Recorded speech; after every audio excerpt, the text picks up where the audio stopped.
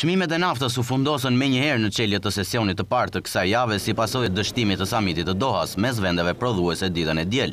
Samiti, edhe një herë, shërbeu për të nxjerrë në pah përçarjen e madhe jo vetëm mes vendeve prodhuese në nivel global, por edhe mes vetë anëtarëve të OPEC. Tensionet mes Arabisë Saudite dhe Teheranit fajësohen si shkaku i dështimit të samitit.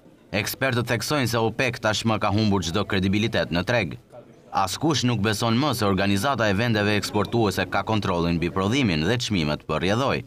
Morgan Stanley, menjëherë pas dështimit të tryezës së Dohas nënvizonte se me shumë gjasa sauditët do të rrisin prodhimin dhe se tashmë tregu i naftës është në rrezik të konsiderueshëm. Nuk bëhet më fjalë vetëm për tregun e naftës, por për konflikte të reja gjeopolitike. Në çelje të sesionit të sotëm, nafta Brent e Londrës kuotohej pranë dyzet pikë nëntëdhjetë e shtatë dollarëve për fuçi, ndërsa ajo bruto amerikane pranë tridhjetë e tetë pikë tridhjetë e një dollarëve për fuçi.